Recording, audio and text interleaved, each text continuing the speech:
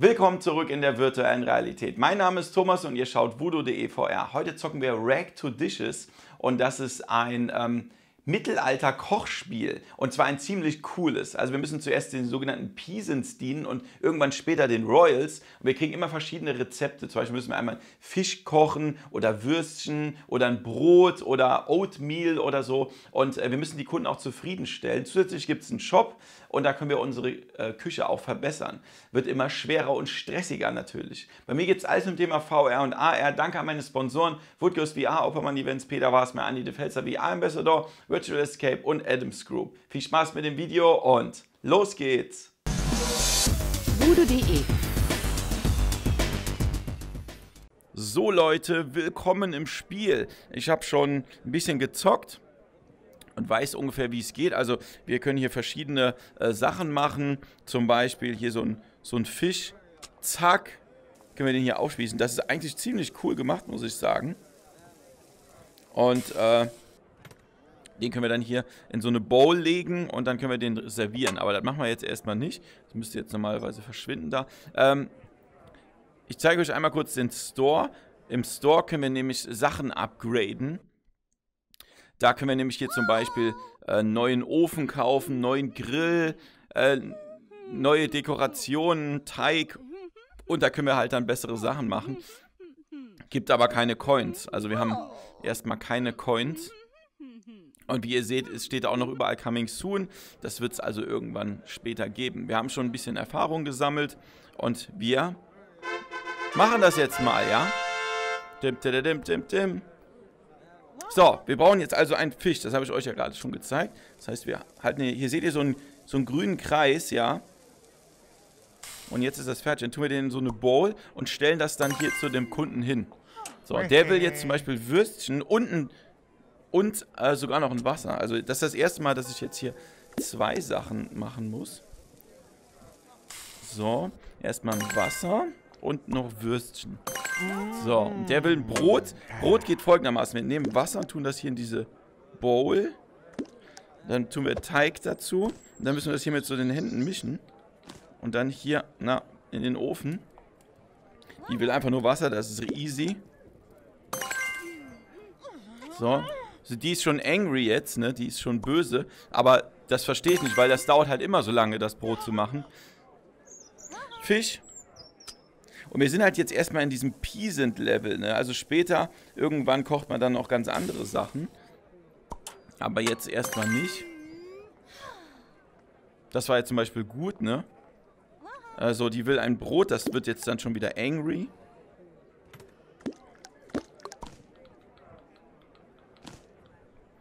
So, und ein Wasser.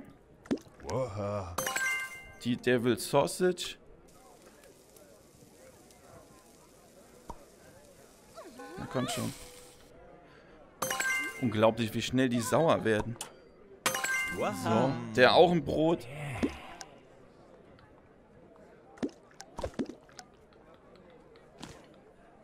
So. Wenn wir Glück haben, kriegen wir es Komm, mach mal hin. Es ist fast unmöglich, das Brot rechtzeitig hinzukriegen. Was heißt das eigentlich? Ich glaube, das ist gut, wenn wir das... So, der auch ein Brot. Boah, ist stressig, stressig.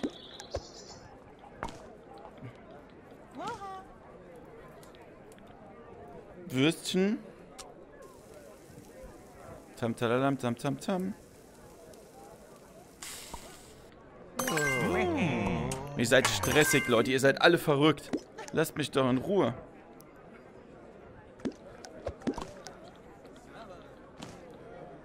Da machst du ein frisches Brot und der Kollege will das in 10 Sekunden fertig haben. Was ist denn los mit euch?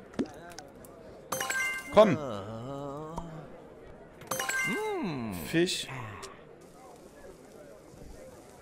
Dim, dim, dim, dim, dim, dim. Würstchen. Wie viel Zeit haben wir noch? Last Orders sind das schon. So, ich glaube, das war nicht schlecht. Wir haben 156 Coins.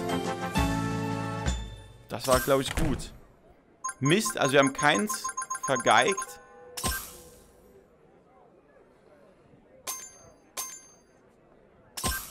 Hundertsechsundfünfzig. Also es ist wirklich schwer, dass alle Grünen zufrieden sind. Also dass alle 100% zufrieden sind. Das, das ist fast unmöglich. Und guck mal, wie wenig man kriegt. Das dauert ewig, bis du da äh, dran kommst. Jetzt steht hier aber New im Store. Und äh, jetzt gucken wir mal. Mal gucken, jetzt können wir anscheinend was kaufen.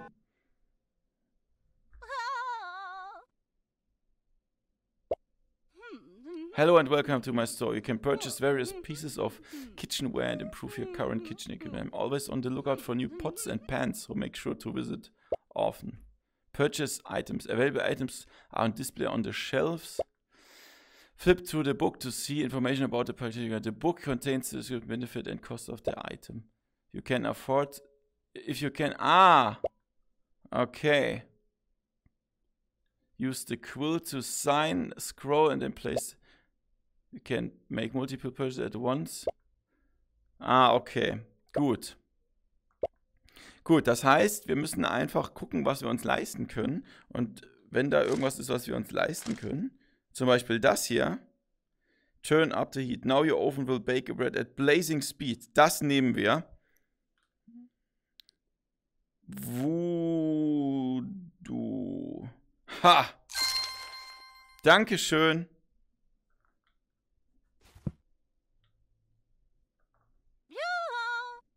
Tschüss. Cool, oder? Glaube ich zumindest. Jetzt gucken wir mal.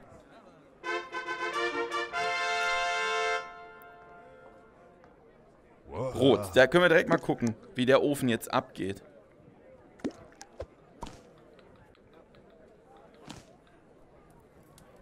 Äh, und Wasser. Jawohl. Diesmal sogar mit zwei Sachen haben wir den, trotz Brot haben wir den glücklich gestellt. Das ist gut. Also es dauert wirklich lange, bis du dann auch wirklich in die nächste Stufe kommst, ne? Ha! Oh! Na komm! Und, und, und, was willst du? Fisch.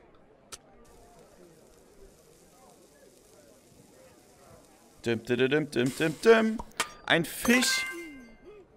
Und, und? Was gibt es? Brot.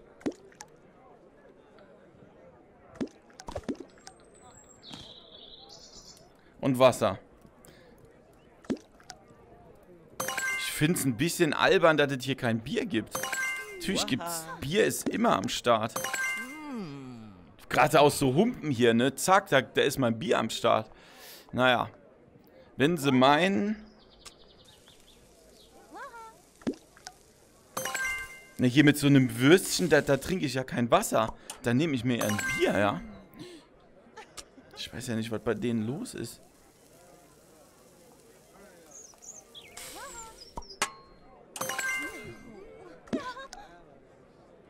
So. Also es gibt später natürlich dann noch wesentlich mehr Menüs die man machen kann. Sieht gut aus, was wir hier machen, oder? Was denkt ihr? Dim, dim, dim, dim, dim, dim. Würstchen.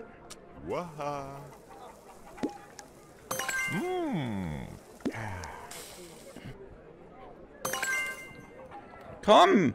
Manchmal klappt das nicht. Oh, shit.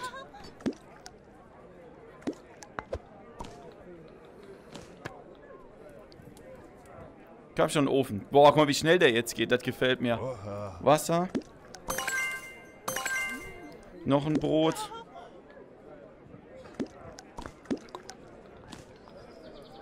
Noch eins. Dann wollen die alle ein Brot. Mist. Das haben wir verkackt. Fisch.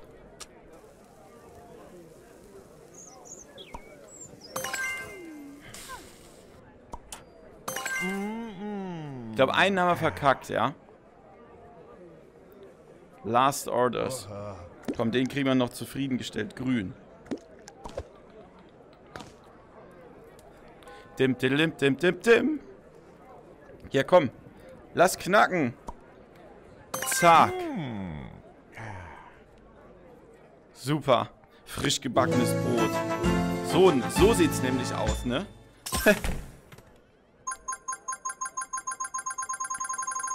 Dritt.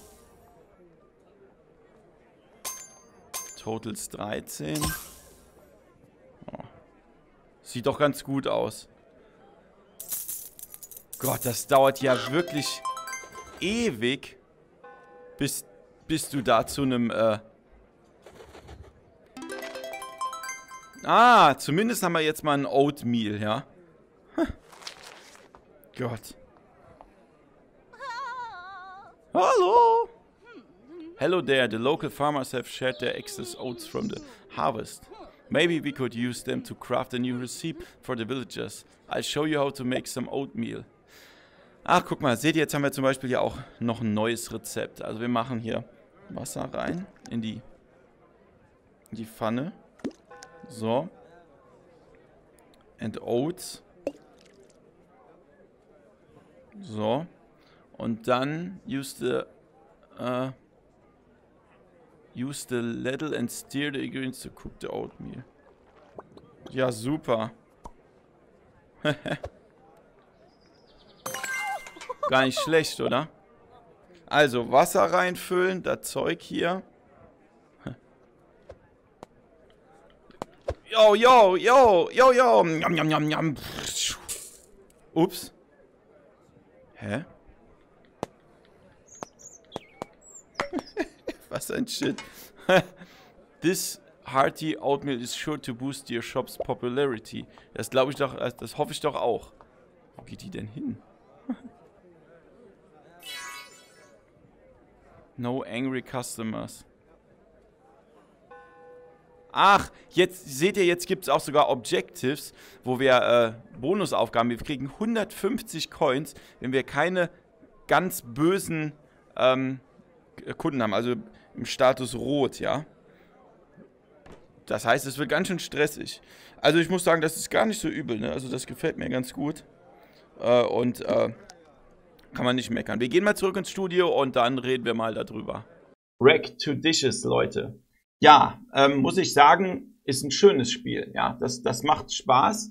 Ähm, sowohl die Steuerung ist wirklich, das, das ist alles gut gemacht. Also so ein Fisch aufspießen über das Feuer, das, das Kneten und so, das, das macht alles Spaß. Auch hier diese, diese Leutchen, die da sind, ne, und äh, dass du immer neue Rezepte dann irgendwann bekommst, kannst du warte im Laden einkaufen, kannst das verbessern, dann hast du Daily Quests und so. Grafik sieht auch ganz cool aus, ne? Die sehen alle ganz knuffig aus. da kannst du nicht meckern. Also das ist wirklich kein schlechtes Spiel. Was mir ein bisschen sauer aufstößt, ist der Preis. Da müssen wir hier ehrlich sein. Das ist ja ein Casual Game. Ja, da zockst du ja nicht. Das ist ja kein AAA Game, was du, was du hier stundenlang äh, zockst. Und dafür sind 20,99 das sind, also ich finde es zu viel. Ich hätte jetzt mit 10 bis 12 Euro gerechnet, ja.